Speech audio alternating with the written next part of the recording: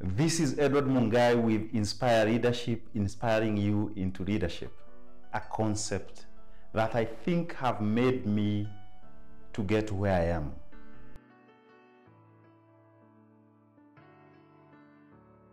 This is a concept about the priorities in life. I have three in a certain order, and that order matters to me. Well, number one is about God. Yes, you heard me. I'm a very spiritual person, a Christian for that matter, and a Catholic for that matter. Second is about my family my wife, my kids, and the extended family. And number three, work. And work, you would quantify to be career or whatever you want to call it. So these three principles or these three things is really what matters in my life. Now, the most interesting thing is that they have to be in that order God, family, and work. I promise you, if you try to interchange them, at least from the little experience that I've got, it will be a mess. Look at it as a three legged stool. And if you miss one or you misplace one, or you give emphasis to one more than the other, my friend, it will not acquire balance. So, to have a balanced life, I truly believe, and with a lot of humility, that you need to consider God first, you need to consider your family, and you need to consider your work as the last thing. So, meaning, if you have a conflict between God and family, what do you take? Yes, of course, you take that activity that is about God. If you have a conflict between work and your family, now it means your family comes first.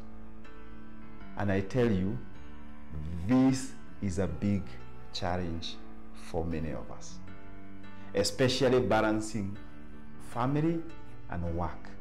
For many of us, work comes first. Now, the truth of the matter is that you're going to lose that work, and you're going to lose your family, and probably you'll also lose God. Now, what are we talking about God?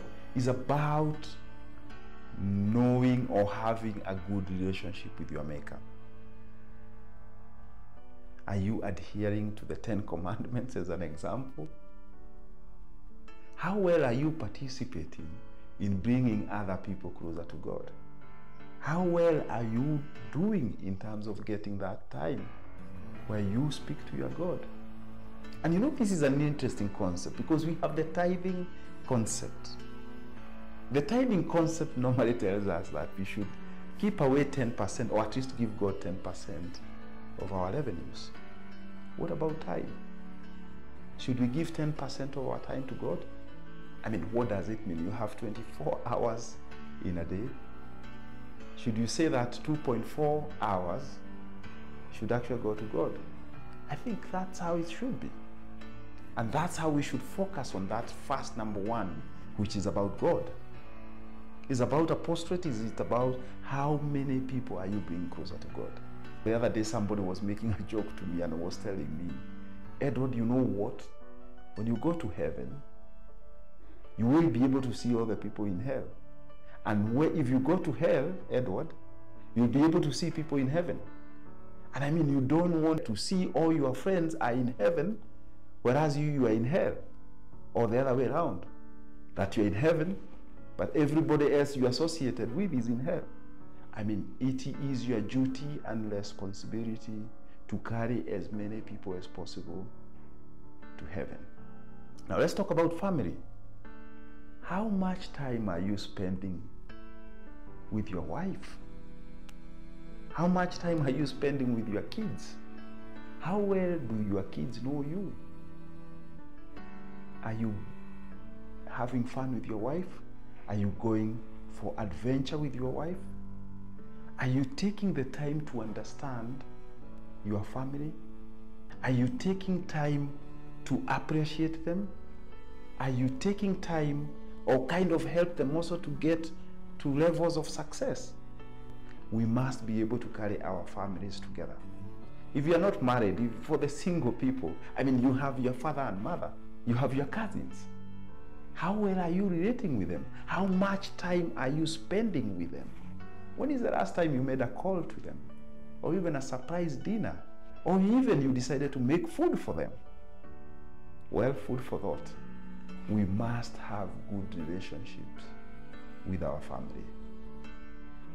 Finally, I want to talk about work, and this is a misconception that we must always work hard, hard, hard on our jobs. I mean, you will end, but work will never end. So please, it's important that you do have a work-life balance to ensure that you're not spending the best of your time in the office. Remember, there is nobody in their deathbed have ever said that they regret not spending too much time in the office. People only regret that they spend very little time with their God and with their family. God, family, and work. Into that order, and my friends, you will end up in a place called successful.